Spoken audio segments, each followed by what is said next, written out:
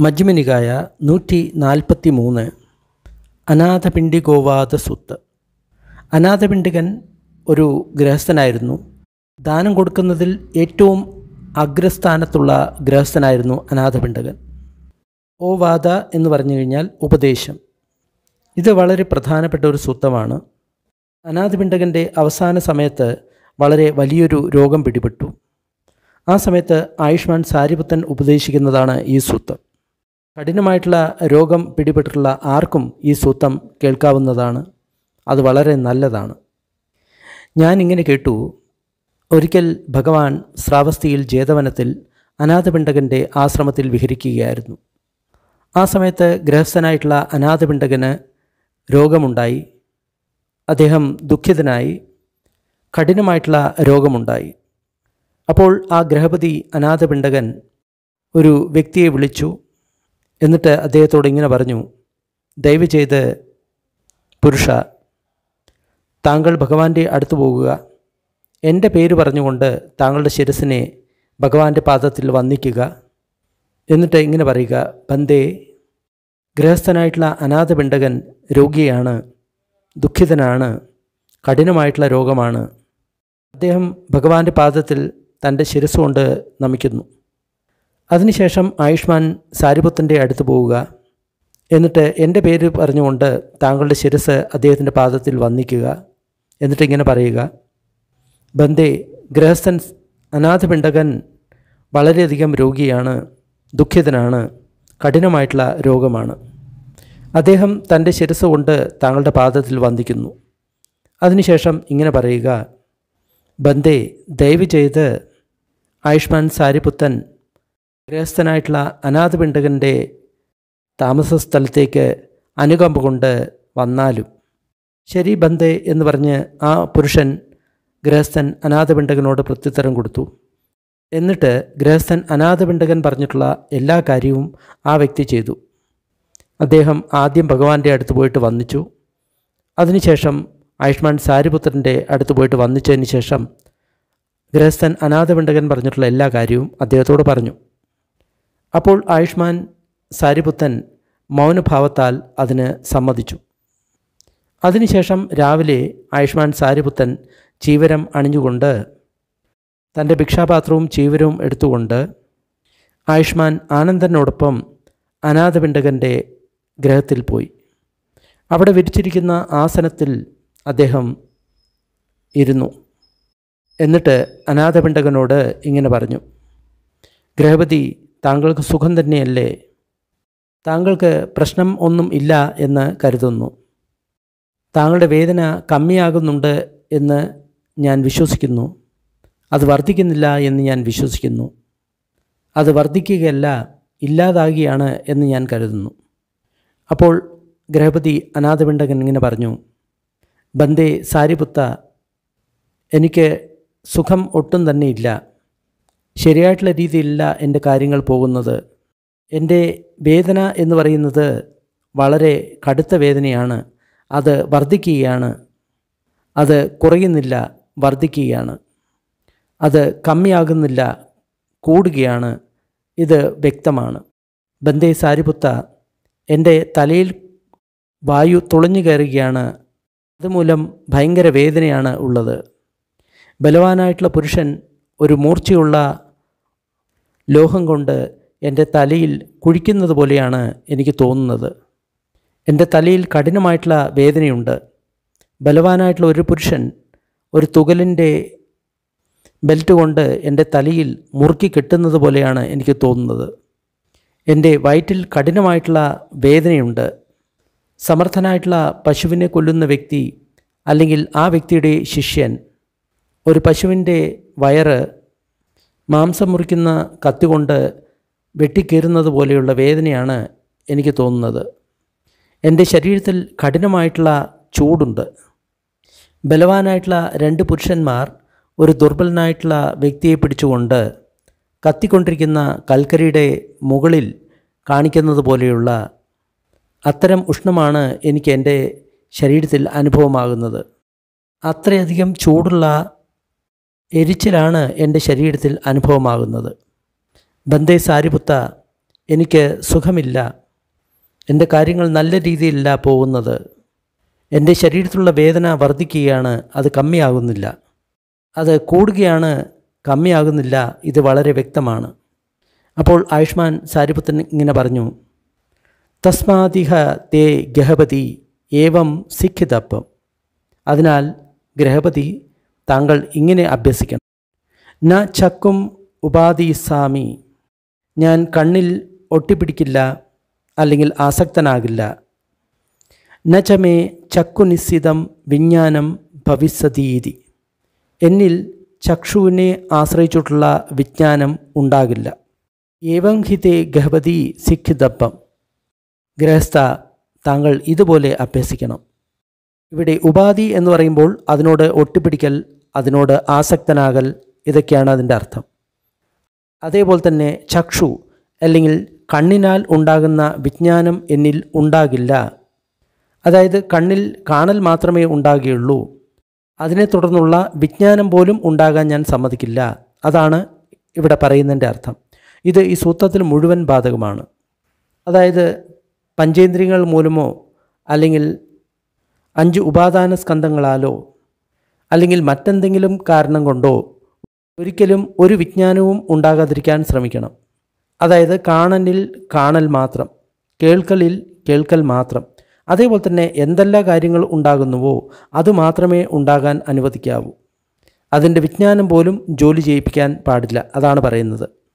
പിന്നെ സംഖ്യയും വേദനയും സംസ്കാരവും ഒന്നും തന്നെ പിന്നെ അവിടെ ജോലി ചെയ്യിപ്പിക്കാൻ പാടില്ല. അത്ര ജാഗരൂകരായിട്ട് നമ്മൾ കാര്യത്തെ മാത്രം അറിയണം അതാണ് ഇവിടെ പറയുന്നത്. അതിൽ ആസക്തി കൂടാതെ അറിയണം. അതുകൂടാതെ മനസ്സിൽ അതിനെ പറ്റിയിട്ടുള്ള വിജ്ഞാനം ജനിപ്പിക്കരുത്. അതായത് മനസ്സിൽ ഒരു തരത്തിലുള്ള മനോവ്യാപാരവും നടക്കാതെ ഇരിക്കണം. ഗ്രഹപതി താങ്കൾ ഇപ്രകാരം അഭ്യസിക്കണം. ഞാൻ എന്റെ കാതിൽ ഒട്ടിപ്പിടിക്കില്ല. കാതിനെ ആശ്രയിച്ചിട്ടുണ്ടാവുന്ന ഒരു വിജ്ഞാനത്തെയും ഞാൻ ഉൽപ്പാദിപ്പിക്കില്ല. ഞാൻ മൂക്കിൽ ഒട്ടിപ്പിടിക്കില്ല. മൂക്കിനെ ആശ്രയിച്ചിട്ടുള്ള വിജ്ഞാനവും ഉണ്ടാകില്ല. ഞാൻ നാവിൽ ഒട്ടിപ്പിടിക്കില്ല. നാവിനെ ആശ്രയിച്ചിട്ടുള്ള വിജ്ഞാനവും എന്നിൽ ഉണ്ടാകില്ല. ഞാൻ ശരീരത്തിൽ ഒട്ടിപ്പിടിക്കില്ല.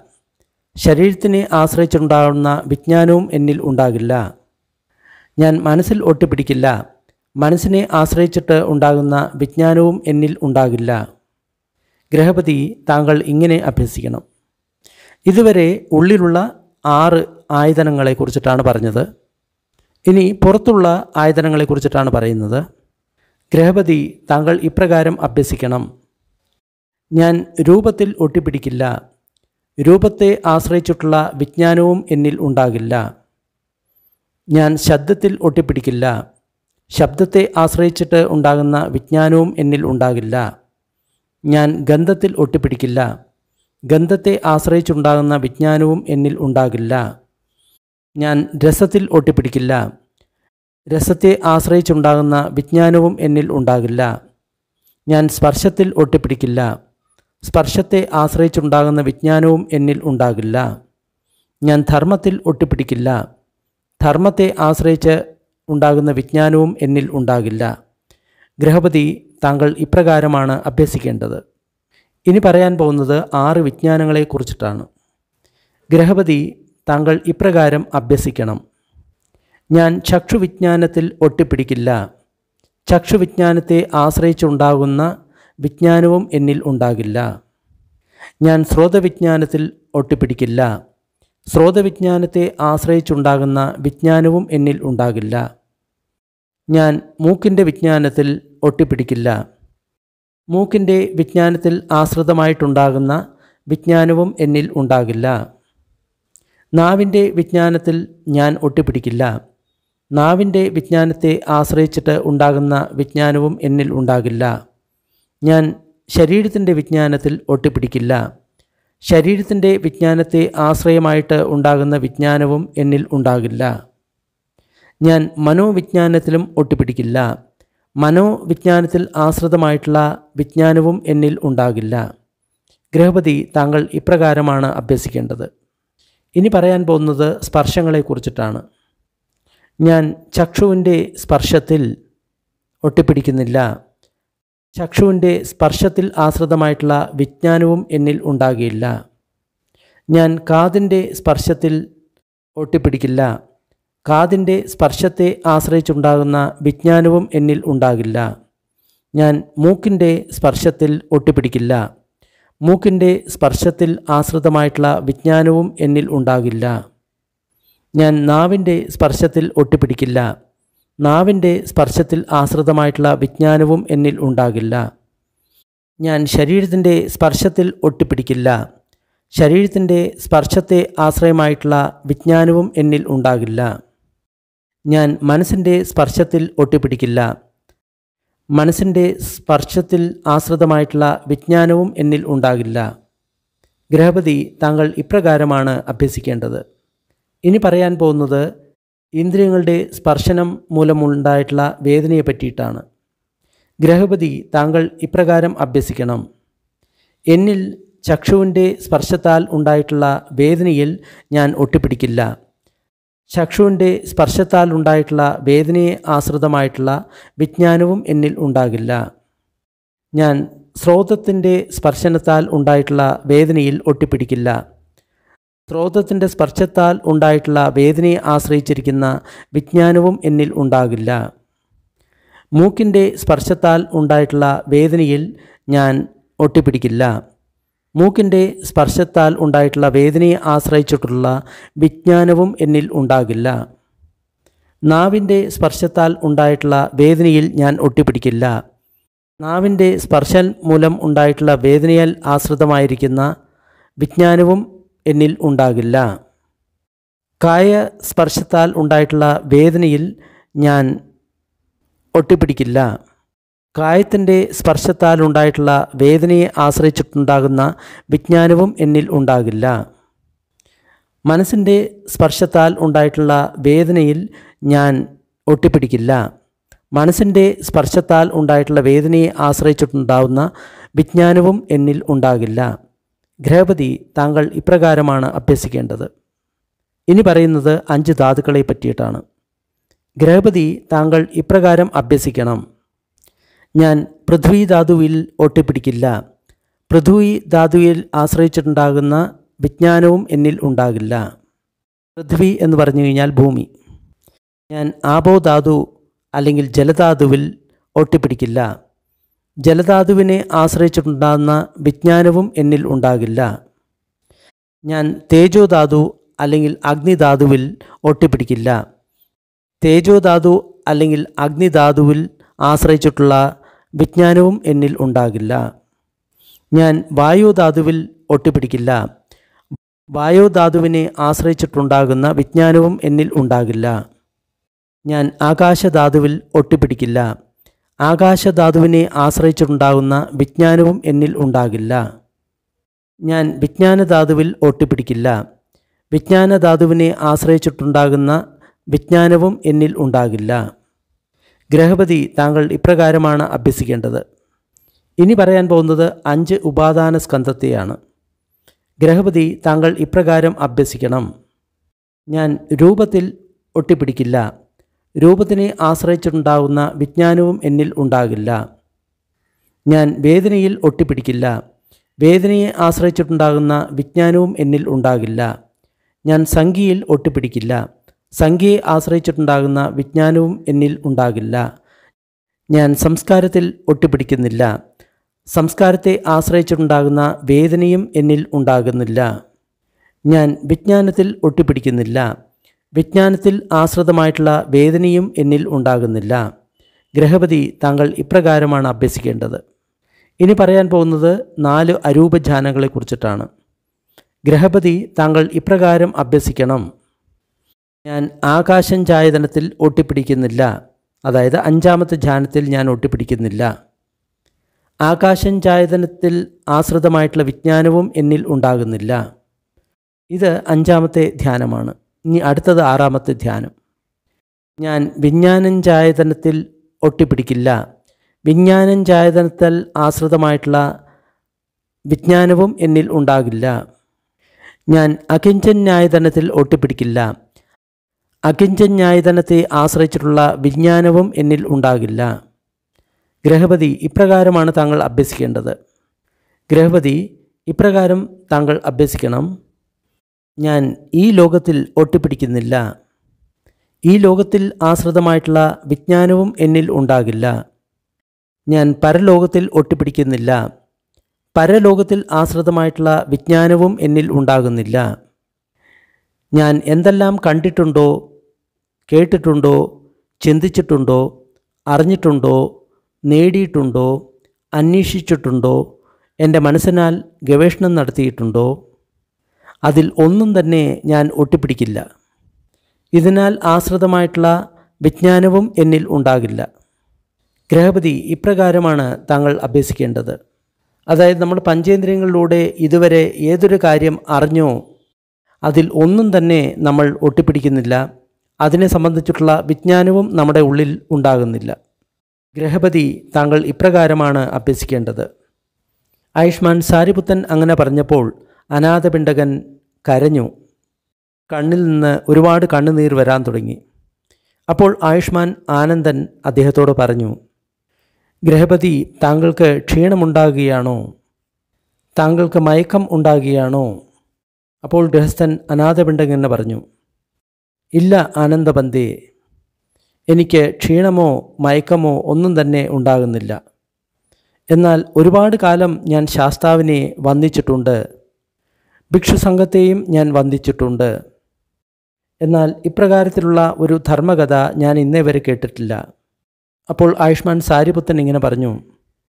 ഗ്രഹപതി ഇത്തരത്തിലുള്ള ധർമ്മകഥ വെള്ളവസ്ത്രം ധരിച്ചിട്ടുള്ള ഗൃഹസ്ഥന്മാരെ പഠിപ്പിക്കുന്ന സമയത്ത് ഇത്തരത്തിലുള്ള ധർമ്മകഥ എന്റെ മനസ്സിൽ വരാറില്ല. എന്നാൽ ഗൃഹപതി ഭിക്ഷുക്കളെ പഠിപ്പിക്കുന്ന സമയത്ത് ഇത്തരത്തിലുള്ള ധർമ്മകഥ എന്റെ മനസ്സിൽ വരാറുണ്ട്. അപ്പോൾ ഗൃഹപതി അനാഥപിണ്ടകൻ ഇങ്ങനെ പറഞ്ഞു അങ്ങനെയാണെങ്കിൽ ബന്ദേ സാരിപുത്ത വെളുത്ത വസ്ത്രം ധരിച്ചിട്ടുള്ള ഗൃഹസ്ഥന്മാരെ പഠിപ്പിക്കുന്ന സമയത്തും ഇത്തരത്തിലുള്ള ധർമ്മകഥ താങ്കളുടെ മനസ്സിൽ തോന്നട്ടെ. എന്തെന്നാൽ ബന്ദേ കണ്ണിൽ കുറച്ചു മാത്രം അഴുക്കുള്ള കുലപുത്രന്മാർ ഇവിടെയുണ്ട്. ഇത്തരത്തിലുള്ള ധർമ്മം കേൾക്കാതിരുന്നു കഴിഞ്ഞാൽ അവർക്ക് നഷ്ടമാണ്. ഈ ധർമ്മത്തെ മനസ്സിലാക്കുന്ന വ്യക്തികളും ഇവിടെ ഉണ്ടാകും.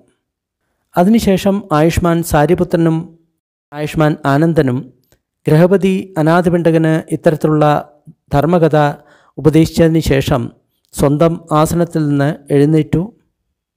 എന്നിട്ട് തിരിച്ച് തങ്ങളുടെ സ്ഥലത്തേക്ക് പോയി. ആയുഷ്മാൻ സാരിപുത്തനും ആയുഷ്മാൻ ആനന്ദനും പോയിട്ട് അധിക സമയമായിട്ടില്ല. അതിനു മുൻപ് തന്നെ ഗ്രഹപതി അനാഥപിണ്ടകൻ ദേഹം ഉപേക്ഷിച്ചു. എന്നിട്ട് തുഷിത ദേവലോകത്ത് പുനർജനിച്ചു. അതിനുശേഷം രാത്രി വളരെ വൈകിയപ്പോൾ വളരെ പ്രകാശമുള്ള ശരീരമുള്ള ആ അനാഥപിണ്ടകനായിട്ടുള്ള ദേവപുത്രൻ ജേതവനത്തെ മുഴുവൻ പ്രകാശിപ്പിച്ചുകൊണ്ട് ഭഗവാന്റെ അടുത്തുപോയി അദ്ദേഹത്തെ വന്നിച്ചു എന്നിട്ട് ഒരു ഭാഗത്ത് നിന്നു. ഒരു ഭാഗത്ത് നിന്നതിന് ശേഷം അനാഥപിണ്ടകനായിട്ടുള്ള ആ ദേവപുത്രൻ ഭഗവാനോട് ഈ ഗാഥയാൽ സംസാരിച്ചു. ഭിക്ഷസംഘങ്ങൾ എപ്പോഴും വരുന്ന ആ ജേതവനമാണ് ഇത്. ഇവിടെയാണ് ആ ധർമ്മരാജാവ് താമസിക്കുന്നത്. അതിനാൽ എന്റെ മനസ്സിൽ പ്രീതി ഉണ്ടാകുന്നു. കർമ്മം വിദ്യ ധർമ്മം ശീലം ഉത്തമ ജീവിതം. ഇതിനാലാണ് മനുഷ്യർ പരിശുദ്ധരാകുന്നത്. ഗോത്രത്താലോ ധനത്താലോ ഒരു വ്യക്തി ഒരിക്കലും പരിശുദ്ധനാകുന്നില്ല.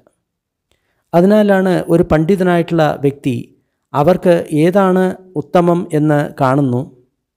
എന്നിട്ട് ധർമ്മത്തെ യുക്തിപൂർവം പരിശോധിച്ചുകൊണ്ട് ധർമ്മത്തിനാൽ പരിശുദ്ധമാക്കപ്പെടുന്നു.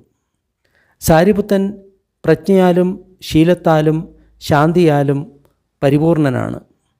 പാരംഗതനായിട്ടുള്ള ഒരു ഭിക്ഷുവിന് മാത്രമേ അദ്ദേഹത്തിനൊപ്പം നിൽക്കാൻ സാധിക്കുകയുള്ളൂ. ഇതാണ് ദേവപുത്രനായിട്ടുള്ള അനാഥപിണ്ടകൻ ആ സമയത്ത് പറഞ്ഞത്.